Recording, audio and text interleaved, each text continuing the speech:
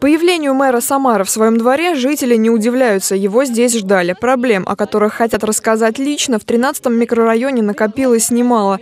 На небольшом участке расположились и детский сад, и школа, и больница. Здесь каждый день ходит много детей. Родители боятся за их безопасность. У нас детям невозможно идти спокойно. У нас получается, что дети ходят по проезжей части, по дороге, вот, которая ведет э, там, как бы от Георгия Димитров до Старозагоры а машины стоят все на тротуарах. По поводу того, что нам как к садику подойти, потому что здесь машины, дождик, снег, грязь.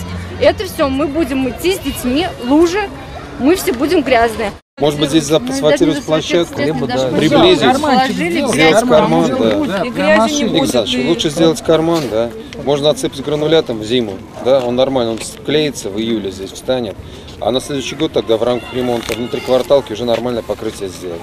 Дорогу пешеходам на тротуарах преграждают и незаконные гаражи. Впрочем, за них уже взялись. 29 декабря был полностью обход всех массивов гаражей. Мы все зафиксировали. Направили Солодовнику по регламенту по нашему 683, то есть все списки. Есть и кадастровые планы, это все. Сейчас ждем от них ответа. Если ответа не будет, то, собственно, установлено, по нашему регламенту. Все, объявление и потихонечку убираем. Активные жители встречи в целом остались довольны. Главное, что наконец на свои вопросы получили прямые ответы от руководства города. Валерия Макарова, Станислав Левин. События.